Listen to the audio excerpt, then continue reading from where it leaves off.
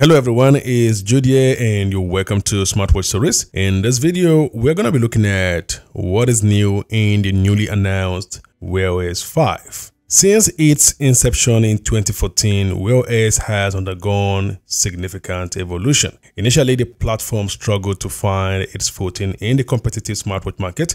However, a pivotal shift occurred in 2022 when Google intensified its focus on the platform and Samsung also returned. This rekindled interest and boosted its user base tremendously. And in 2023, the release of Wear OS 4 marked a significant milestone that led to 40% surge in user adoption according to Google.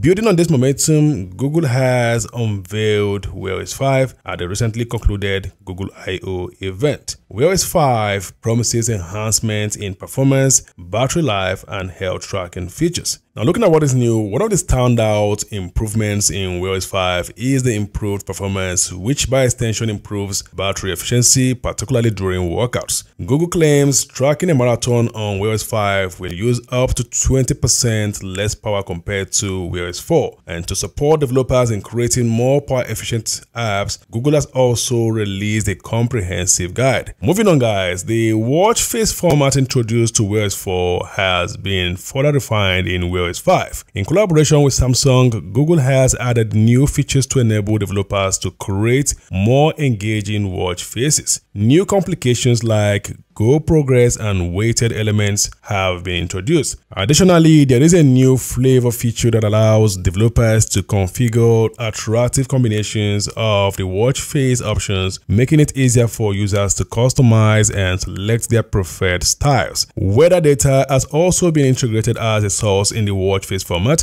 providing users with detailed weather forecasts for the next hour, day, and beyond. Furthermore guys, Wear 5 also introduces a grid-based app launcher that is visually appealing and intuitive.